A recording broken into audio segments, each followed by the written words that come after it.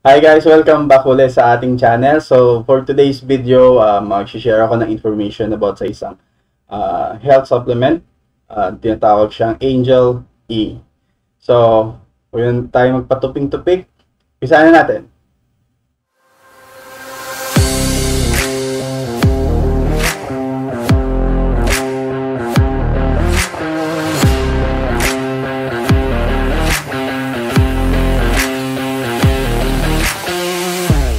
Okay, so guys, uh, kung bago lang sa channel ko, make sure to hit the subscribe button uh, for support na rin sa aking channel.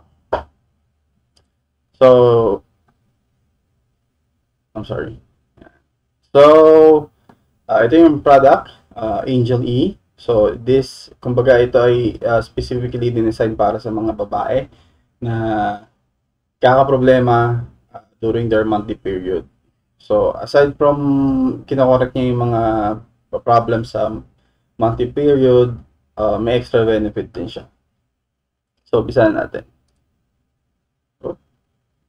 Okay, so Angel E, so meron siya tinatawag na Estro G100. So, ito is clinical studies na mas natural compared to uh, yung mga ini-inject na hormones. So, this is safe uh, for women, ba ligtas ligtas na ligtas gamitin or safe gamitin ng mga kababaihan. Now, estrogen 100 is 6,000 times more powerful than vitamin C. So, nag-ini-improve yung immune system ng mga kababaihan. So, 12 times more potent than vitamin E. Uh, 54 times more uh, powerful than beta-carotene, yung normal beta-carotene natin na nagpapaganda ng skin ng women. So, much, uh, much, much better siya. Right? So 800 uh, times more powerful than coenzyme Q10 at 500 times more powerful than catechin. So what are ano ba yung mga key benefits ng ng Angel E?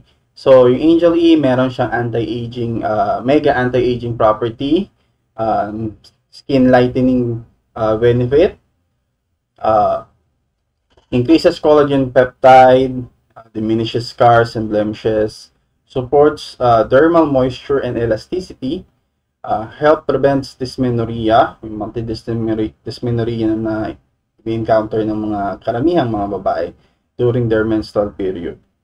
So, supports a healthy menstrual cycle, uh, relieves pre, peri, and post-menopausal syndrome. Sa mga nagkakaedad na, so nagka, uh, nagkakaroon tinatawag ng mga menopausal syndrome. Uh, so, yung mga adverse effects ng menopausal syndrome is uh, pinapawala, inunti, nire-relieve ni Angel E. So points joint health, um, relief from hot flashes, helps manage mood and energy, energy swings, helps alleviate night sweats, and promote restful sleep. So habang ginagamit ito ng kababaihan, so sa mga kababaihan na uh, hirap sa kanilang sleep cycle, so unti-unti na normalize ng Angel E through continuous usage. And promotes vaginal, improves vaginal uh, dryness. So, from the word itself, from the benefit itself, so sa mga kababaihan na encounter ng ngayon, uh, dryness do sa part na yon So, unti-unti siyang uh, kinokorek ng Angel E. And sa ganon is happy si si girl during night time. Okay? So, yun lang naman yung pinaka main benefits ng, ng Angel E. So, it's all natural. Uh, much better kesa dun sa mga ini-inject or ini-ingest na, na hormones. So this is much more better uh, compared to other uh, supplements pang pang women. Okay? So yun lang naman, uh, very straightforward yung video natin. So wala masyadong graphics or kung ano man. So we focus on the information na uh, nire-relay natin sa ating mga viewers. So yun.